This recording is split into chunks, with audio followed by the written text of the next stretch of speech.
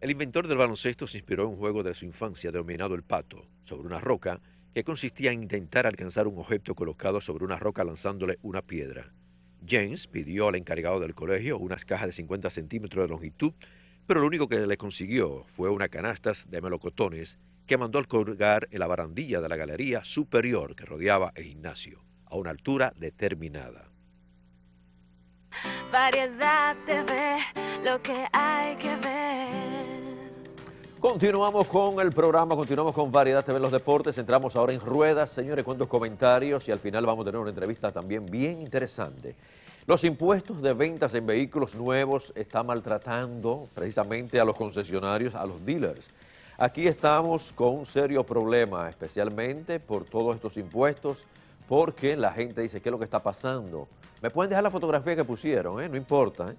Porque la gente está diciendo, Dios mío, ¿qué es lo que está pasando con estos vehículos y tan caros? ¿Qué resulta? Que si es el dólar, pero son los impuestos. Y estos impuestos no solamente se quedan en la República Dominicana, ahora mismo en Argentina acaban de ponerle más impuestos, no solo a lo de alta gama, como las jipetas, los Mercedes, los carros deportivos, sino al 70% de los automóviles le están poniendo un impuesto de un 30% por encima del precio que tenía y de los impuestos que tenía. El 30%. Toda Argentina está diciendo, bueno, ¿y qué va a suceder?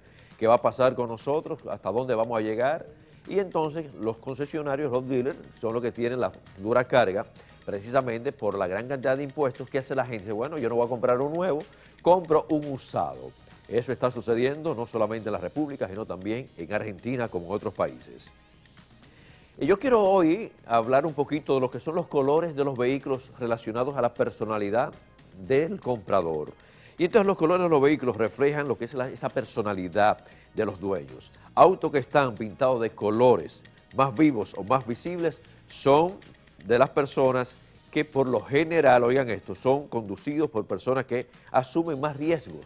Pero entonces hablamos del vehículo Voy a comenzar con el vehículo blanco. Déjenme el vehículo blanco ahí, por favor. Fíjense, la gente que compra el vehículo blanco tiene una personalidad muy definida, pero además de la personalidad muy definida, son personas alegres también indecisas. Oigan eso, indecisas. En cambio, los tonos brillantes y metalizados, por lo general, son personas optimistas. Pero me voy entonces con el primer color, el azul o el negro. ¿Qué resulta con la gente que compra el color azul o negro? Eh, refleja especialmente el color azul o negro, refleja todo lo que es la expectativa del comprador, además de esto, de la gran experiencia, de como que son personas eh, muy elegantes, además de elegantes, desean inspirar respeto y también distinción. Todo, oiga esto, por el color negro, quieren la distinción, quieren el respeto, son muy decididos también. Pero en el caso de los brillantes y metálicos, por lo general son personas optimistas. Además de esto, el color eh, favorito mundial es el color gris plata. El gris plata, el que, le llaman, es plateado, eh, lo que delata a una persona que opta por una conducción segura y sin riesgos. Una persona mucho más segura que los demás, una persona que le gusta vestir bien, que le gusta ganar dinero y demostrar que tiene poder.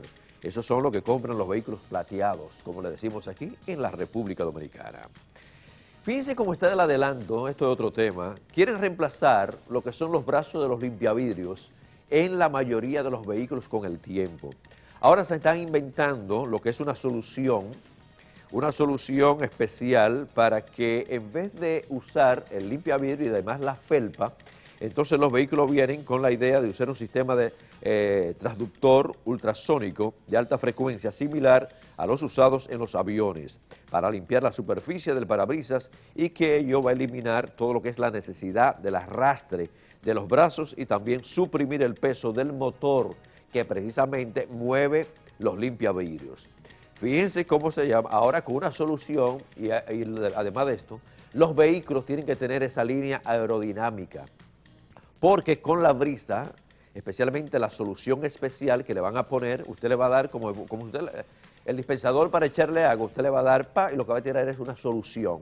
Entonces esa solución con la brisa que le va a dar al vehículo, que le va a dar al, limpiado, al, cristal, entonces limpia totalmente el cristal sin los brazos, sin la felpa. Se va a economizar usted el peso del motor, que, que pesa un poquito, las felpas, que aquí en las calles de la República Dominicana, en nuestra capital, le quitan las buenas y le ponen una vieja eh, de, de las escobillas. Además de esto, va a tener mayor velocidad el vehículo por su propia línea aerodinámica.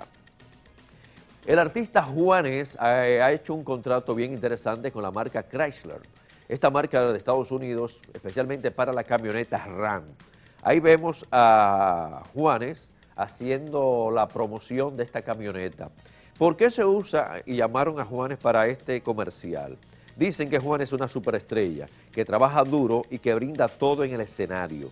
Los anuncios nuevos de A Todo con Todo, oiga cómo se llame, A Todo con Todo, muestran a Juanes sobre el escenario y destacan el arduo trabajo de los miembros de su equipo técnico, el luminotécnico, todo el equipo, quienes comienzan el show después de que cae el telón. Ellos dependen de la RAN 1500 para transportar el equipo pesado de una ciudad a otra. Hablamos de equipo de luces, equipo de sonido, todas las consolas y además de esto para realizar eventos que sean del agrado de los seguidores de Juanes. Por esto, el artista colombiano es el modelo para la campaña de esta camioneta. El mundo va cambiando y yo quiero que en Cuba siga cambiando la política. Ahora en Cuba están permitiendo que si usted tiene, el cubano tiene un carro, va Juancito, va Pedro, mira, yo quiero comprarte el carro, usted puede vender el carro. Antes, en Cuba, se necesitaba una carta de autorización, tenía que darle el gobierno. ¿eh? Yo voy a vender este carro a mi vecino.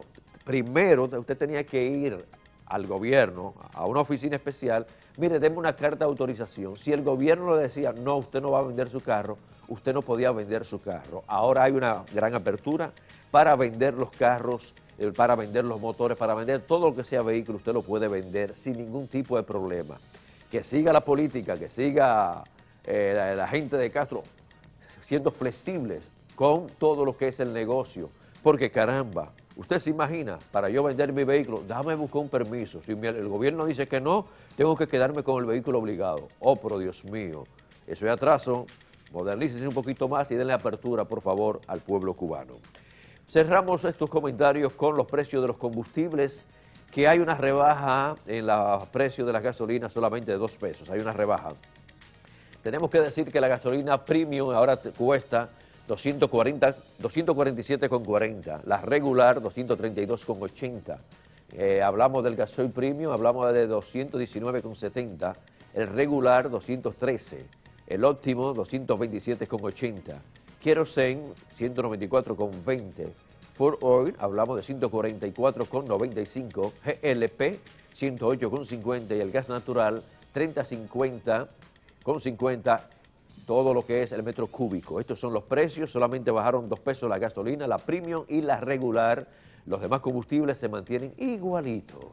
Hasta aquí esta primera parte de En Ruedas, la pausa y regresamos con una buena entrevista en Ruedas con Enrique Fernández de los concesionarios de vehículos aquí en la República Dominicana. Volvemos.